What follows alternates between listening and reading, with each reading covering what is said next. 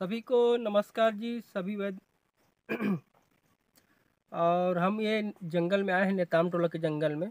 और ये घूमते घूमते हमें ये कलिहारी अग्निशिखा का पौधा प्राप्त हुआ है हमें। और ये पौधा चौंसठ दिव्यम औषधि में से एक माना गया है।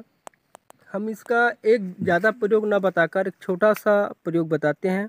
जैसे किसी भाई बहन कहीं घूमते हुए यदि लोहे का कील गड़ जाए उसके पैर में या कांटे चुभ जाए उनके पैर में, जो नहीं निकल पा रहा है तो इसके कन को वहाँ पर हल्का से छेद करके मतलब हल्का सा उन, वहाँ पर थोड़ा जगह बनाकर, यदि इसके कन को वहाँ पर लेप कर दिया जाए तो कील जो किला है, वो ऑटोमेटिक फेंक फेंक देते हैं, और कभी भी वहाँ पर इन्फेक्शन नहीं होगा। लोहे से जो गल, गलता है पैर वैर ऐसा कुछ इन्फेक्शन नहीं होगा, ऐसा दिव्य औषधि है। और एक प्रयोग और है। इसमें भगंदर में इसका कन का प्रयोग हम करते हैं।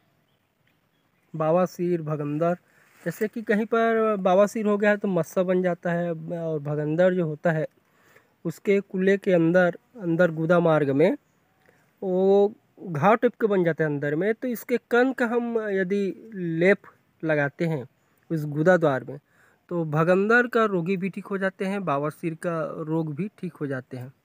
और ये बाहरी प्रयोग है। अंदरूनी प्रयोग के लिए इसे शोधन किया जाता है और अंदरूनी प्रयोग इसे कभी नहीं करना। बस राम राम जी, इतना ही बताना चाहूँगा। जय राम।